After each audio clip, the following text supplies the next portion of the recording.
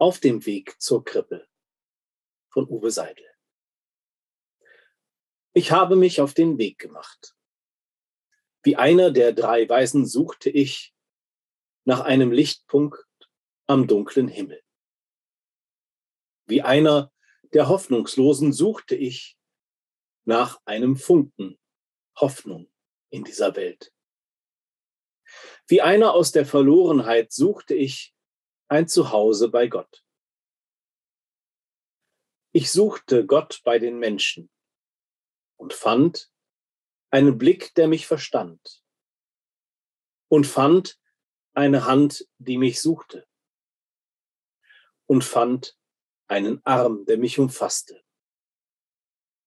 und fand einen Mund, der zu mir Ja sagte. Ich fand Gott nach langem Suchen. Nicht mächtig, nicht prächtig, sehr bescheiden, alltäglich, als Kind in der Krippe.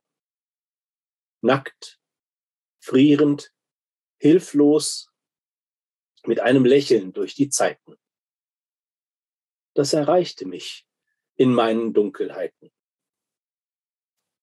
Gott fing ganz klein an, auch bei mir. Ich danke ganz herzlich an dieser Stelle schon allen, die den Adventskalender in diesem Jahr mitgestaltet haben. Ich danke auch ganz herzlich allen, die ich nicht mehr berücksichtigen konnte und die gerne mitgemacht hätten.